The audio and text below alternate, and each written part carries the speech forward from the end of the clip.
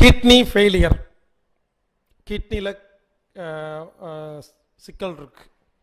Urine அடிக்கடி போயிட்டே இருக்கு. சிறுநீரகம் மூத்திரப்பை சம்மந்தப்பட்ட எல்லாத்துக்கும் மொத்தமாக சொல்கிறேன் கிட்னியில் யாருக்கு ப்ராப்ளம் இருந்தாலும் நைட்டு தூங்குறதுக்கு முன்னால் உள்ளங்கால ஃபுல்லாக மசாஜ் பண்ணணும். உள்ளங்காலில் ஃபுல்லாக நல்லா அழுத்தி மசாஜ் பண்ணால் கிட்னி சரியாகும். இது நைட்டு காலையில் எந்திரிச்ச சுண்டு விரல் இருக்கு இல்லைங்களா? கால் சுண்டு விரல் நகம். அந்த நகத்துக்கு ரெண்டு பக்கமும் நல்லா ப்ரெஸ் பண்ணும் காலையில். கிட்னி சரியாக போயிடும் மழை நீர். மழை பெய்யுது இல்லைங்களா? இங்கே பாருங்க மழை பெய்யும் போது முதல் அஞ்சு நிமிஷம் பிடிக்கூடாது. அதில் ஏகப்பட்ட கெமிக்கல் குப்பை தூசெல்லாம் இருக்கும். முதல் அஞ்சு நிமிஷம் மழை வரும்போது பிடிக்கூடாது விட்டுறணும். அஞ்சு நிமிஷத்துக்கு அப்புறம் மழை வருது இல்லையா? அதை பாத்திரத்தை வச்சு டைரெக்டாக மழை நீரை சேமரித்து அதை ஒரு பாட்டிலில் ஊற்றி டைட்டாக அடைச்சு உங்கள் வீட்டில் எங்கே இருட்டா குப் கருகும்முன் இருக்கோ சூரிய வெளிச்சம் வராத இடத்துல கொண்டு போய் பாட்டில் வச்சிருங்க. ஆறு வருஷத்துக்கு மழை நீர் கெடாது.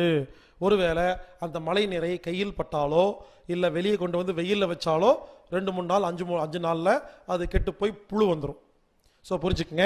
மழை நீரை தினமும் ஒரு லிட்டர் குடிச்சா எப்பேற்பட்ட சிறுநீரகமும் தன்னை காப்பாற்றிக்கும் கிட்னி ஃபெயிலியர் யாருக்கு இருக்கோ டாக்டர் சொல்லுவாங்க உப்பே சேர்த்திக்காதீங்கன்னு அப்பதான் நல்லா கெட்டு போகும். அப்போ நீங்கள் என்ன பண்ணணும்? உங்கள் நாக்குக்கு எவ்வளோ உப்பு தேவைப்படுதோ கரெக்டாக சாப்பிட்டா தான் கிட்னி குணமாகும். அடுத்தது பொடி உப்பை பயன்படுத்தாதீங்க. கல்லுப்பை வாங்கிட்டு வந்து சட்டியில் வறுத்து பயன்படுத்துங்க. சமையலுக்கு கிட்னி சரியாக போகும். இன்னொன்று கிட்னி ஃபெயிலியர் யாருக்கு வரும்னா மனதில் பயம் இருந்தால் மட்டும்தான் கிட்னி ஃபெயிலியர் வரும். மனதில் தைரியத்தை அதிகரித்தால் கிட்னி ஃபெயிலியர் சரியாக போகும்.